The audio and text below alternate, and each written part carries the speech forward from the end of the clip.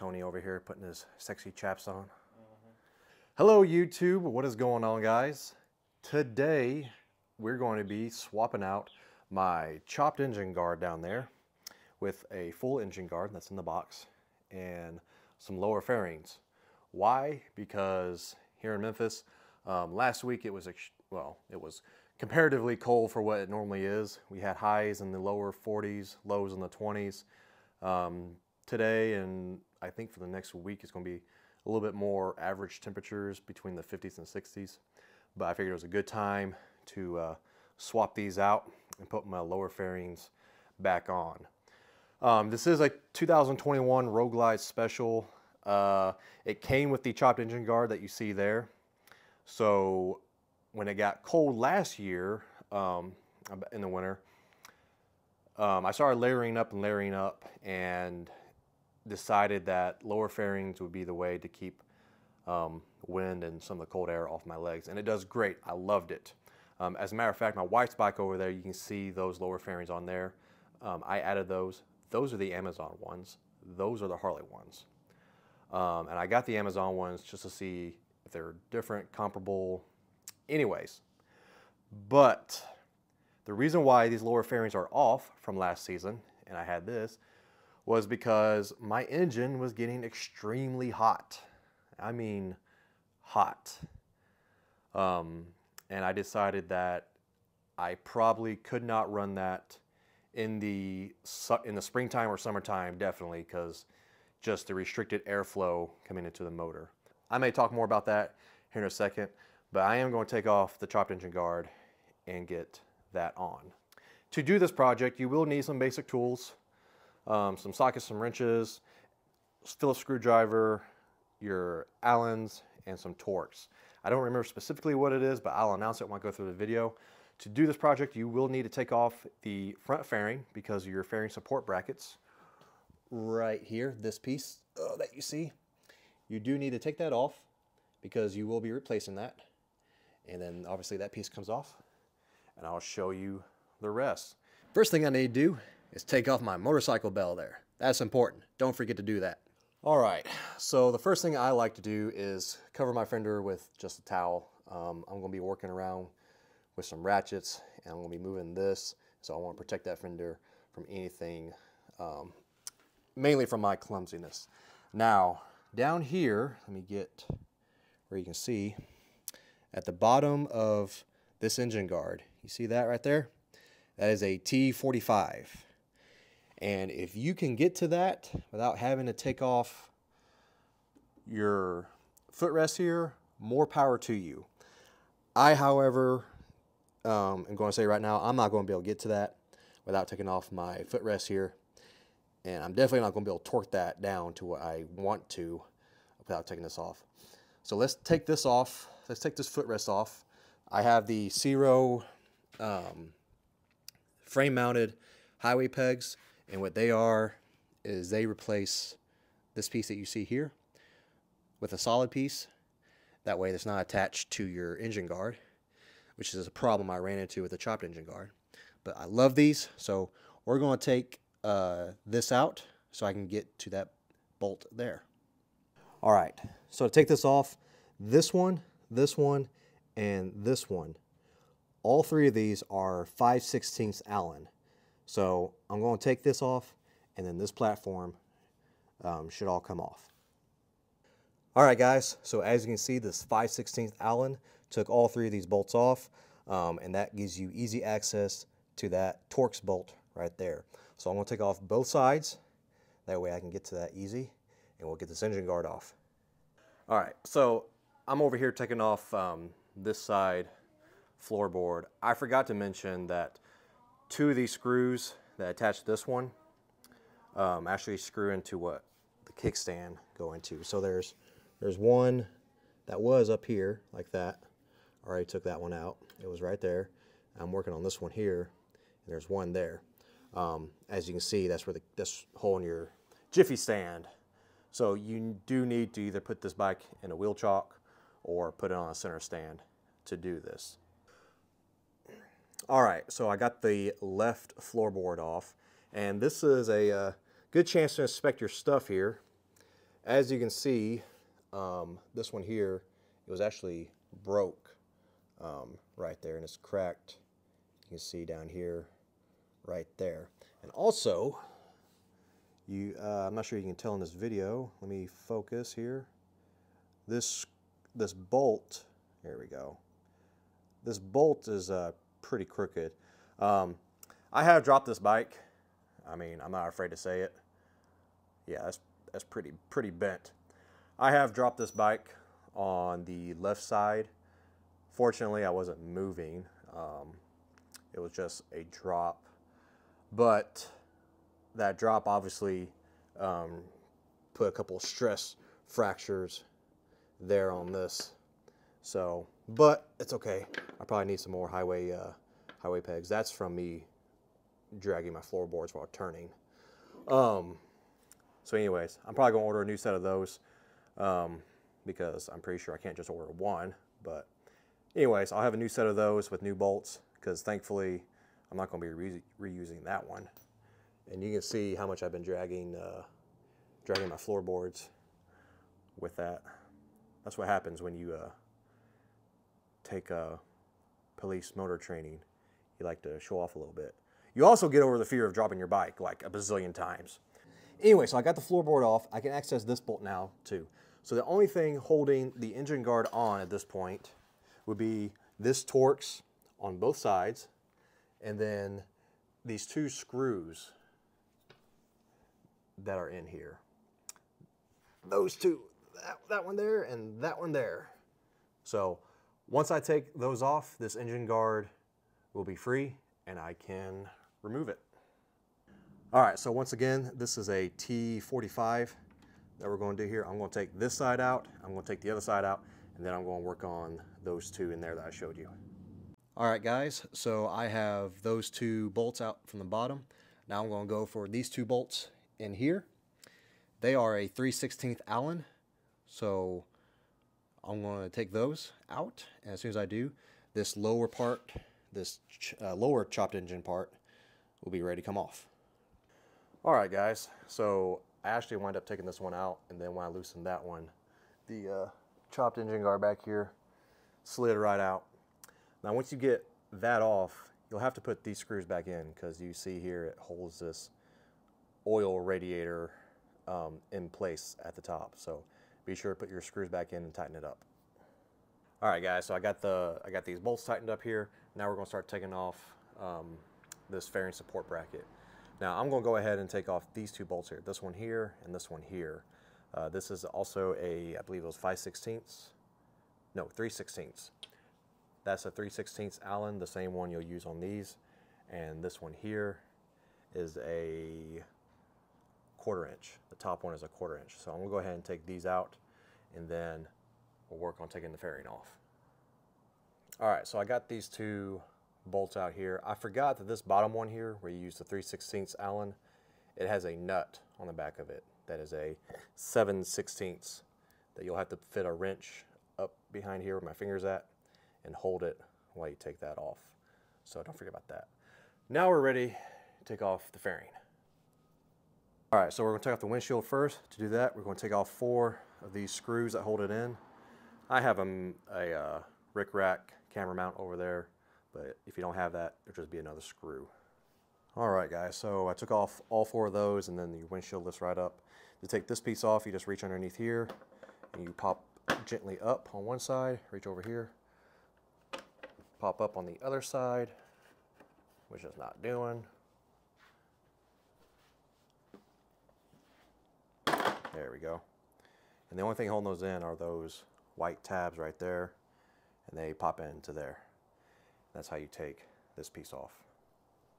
All right, now for these um, speaker grill guards, you'll see some people, they'll put like a pick in there and they'll push it out. But if you do this part, you can actually just reach in here with your hand and pop this tab out like that and take them out. And then there will be a screw down here that you'll need to take out. And then you need to take out this screw here in your blinker. And you'll need to take out this bottom one this bottom screw down here. The top one can stay in. It's the bottom one that comes out.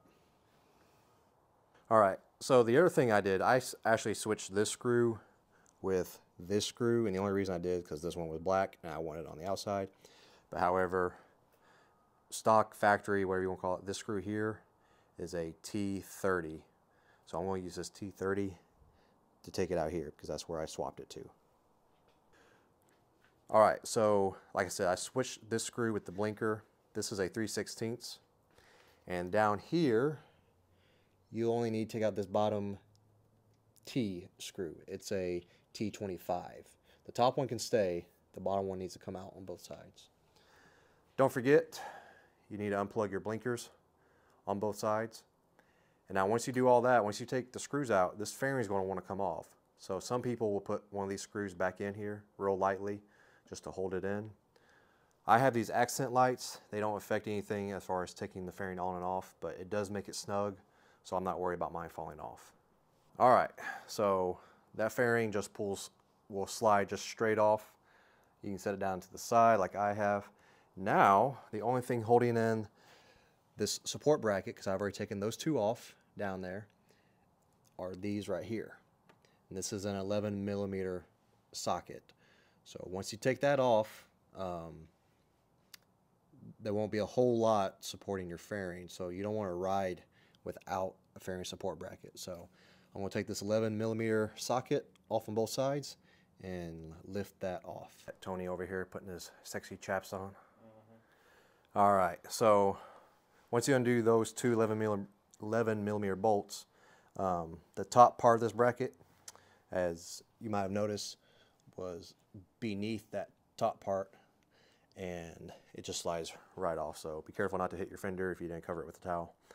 And now we're ready to put on the full engine guard and the support brackets. All right, so I got the full engine guard here.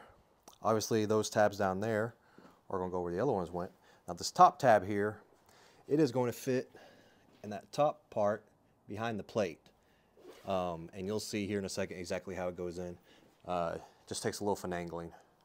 All right, so I got that one tightened there, and I have both of these tightened on each side. Now we're ready to add the lower on. Now, this is a little hard to do one-handed, but you need to take this piece off, and there's a nut holding that on on the other side. And the way you get to that is just by opening up that compartment and loosening it. And that's a that's 11 millimeter. Once you do that, these right here, these are 11 millimeter also. You'll loosen that, take this off, and you'll clamp that around there. And then this piece down here, that's a 13 millimeter. You'll take that nut off, you'll run this through the bottom piece here, and you'll see how this fits together. Really simple. What I like about the Harley lowers is that they already come mostly assembled. You don't have to assemble them near as much as you do the Amazon ones. So let me put this together real quick and you'll see how it fits together. All right, so this slid in pretty easy. You can see it's still loose. I don't have it attached anywhere, but you'll put your clamp back here. You'll put your clamp back on those, tighten them down. Um, I wouldn't tighten them too tight. And then you put your other little rubber clamp here down at the bottom with that bolt. Now there will be a gap here. Don't try to force this all the way flush against it. It won't go that way. There will be a slight gap there. So if you see that, don't freak out. You'll have a little bit of adjustment once you get everything tightened down. All right.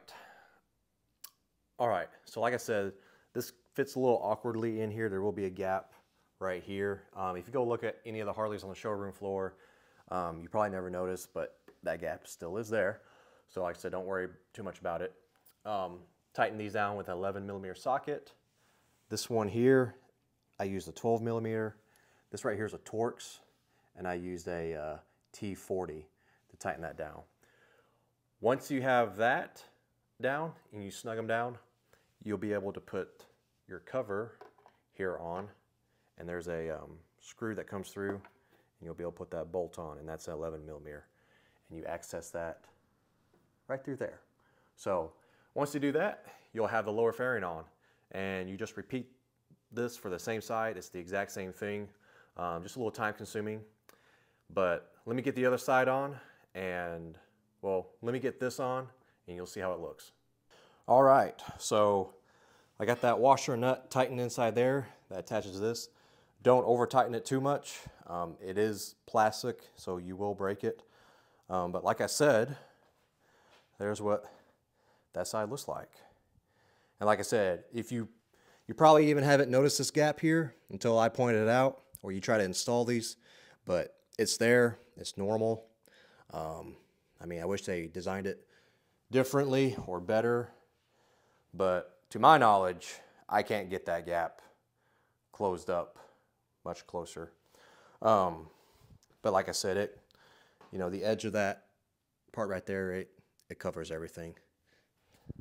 And then, of course, you got your little glove compartment here that you push to open and push to close. And then down here, you have your vents that open and close. Um, I do think that these vents are better than the Amazon ones. They feel more sturdy. This right here is, feels like a more sturdy plastic than the Amazon lowers. And like I said, you don't have to assemble these from scratch. The Amazon lowers, you pretty much have to assemble the whole thing from scratch. And it's pretty tedious. I did not like it. And I would rather just have the Harley ones. But I mean, if you're into, like I said, you can see from here, those are glossy, shiny. It just feels like a cheaper plastic. They look fine, but um, it was a pain in the butt to assemble. The Harley ones, you don't have to do near as much assembly. So I'm gonna go ahead and repeat this for the other side and then we'll go from there. All right, so as you can see here, I got the other one on. Everything's tightened down. It goes on the exact same way the other one. You got a nut that goes through there with a washer. Now we're going to attach our fairing support brackets. These are also Harley, um, just because my Harley store had them. These are shaped um, a little differently. So one obviously belongs on one side, the other belongs on the other side. You'll just have to kind of look and see which way they go on. If you're looking at the front of the bike, I don't know how to describe this to you. This one, they only go on one way. They're not interchangeable. But the screws face to the rear and it faces inside. So I know this one goes on the clutch side of the bike. And obviously the other bracket goes on the throttle side of the bike. But it just takes a little bit looking, getting used to. If you try to do it the other way, if you try to do it backwards, they just won't go on. Um, so anyways, I'll undo these two screws here. I'll put it around there. And then this piece here goes right there with the nut that the bolt that we took out. All right, so once you get the fairing support bracket on, it should look like that, okay? So that's how it's gonna look. That's an 11 millimeter bolt up here that holds this in. And on the back, I'll use this one as an example. On the back of these, these are a 5 32nd Allen wrench that you'll use to tighten those down.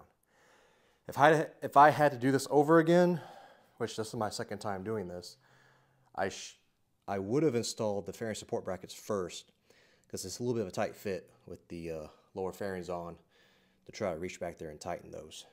But, you know, live and learn. So hope you learned from my mistake. I'm going to do the other side now and uh, the lower fairings should be done. So here's something I just discovered too, if you're like me and you put your lower fairings on first before your brackets. Um, you can actually just hang them like this, and now you can put those two screws with the back piece in a whole lot easier and just leave them loose, and then you can attach your top one here. All right, so got the other lower fairing bracket on. Like I said, 11 here and 5 32nd Allen wrench for the back of the bracket. Um, once again, it's easier to put the brackets on first, then do your lower fairings because it's just easier to reach all that stuff. And then you have nothing in the way when you put the lower fairing on. But that is what they look like. Look pretty symmetrical, look pretty good. They do an excellent job keeping the wind off your, uh, keeping off your legs, the front of your legs, keeping off your toes. Um, I thought about adding the Kuryakyn tracer lights to the uh, lower fairings. I don't know if I will or not, because like I said, I take them, you know, last summer I took them off because my bike was getting too hot. But now that I got a uh, more efficient dyno tune from DC Cycle and Racing, which you've seen some of my videos, I've been hanging out with them a little bit. Um, we'll see how uh, this coming spring and summer temps do with it. But anyways, we are ready to put the fairing back on here. Okay, so once again, be sure to put your bottom Torx screw in there. Be sure to put your blinker bolt in there. And be sure to put your speaker fairing bolt in there. And like I said, I switched this one and that one because I like the black on the outside. Not that anybody would ever notice, but that's what I did. Um, be sure to plug in your turn signals again. And then we're going to pop this piece back on and then we'll be able to put our four screws in our windshield and we should be done. All right guys, so got the fairing back on, got my windshield on, screws in. Um, be sure to put your speaker grates back on after you get everything tightened up. Um, but that is what it looks like from the front. I can take off the towel now, I guess. But there's your full engine guard with the lower fairing swap. Um, like I said, I like it. It really keeps a lot of the uh, cold air off of you, off your legs, off your feet, really keeps you warmer. Um, for me though, uh, we're gonna have to see when the spring and summertime come, um, how the engine temps do. I did have the vents open last summer, last spring, and like I said, it may have been my tune back then, but it got really hot. But I'm going to leave these off until I can order some new uh, Ciro frame mounted highway pegs and then I'll get those on. But like I said, if you have your own um, floorboards or your stock ones, I'm sure you can put those on no problem without me assisting you guys. Um, it's been great. Thanks for watching. Now, I'm probably going to do a video of this uh, S100 stuff that I so graciously got from DC Cycles, from Erica and the team over there. And as you can see, my bike is filthy. So it's going to be a good video. Thanks for watching, guys. Um, I'll join you again. And like I said, I'm going to shoot another video.